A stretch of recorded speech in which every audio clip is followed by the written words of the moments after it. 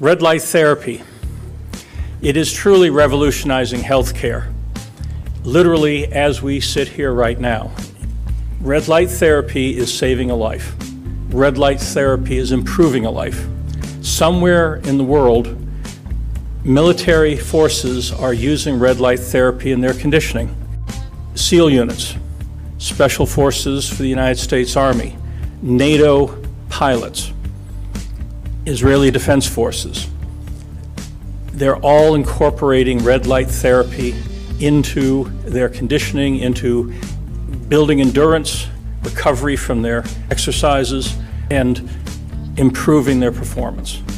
At the same time, we have young people at places like St. Jude having their lives saved with treatments relating to taking care of the side effects of cancer chemotherapy.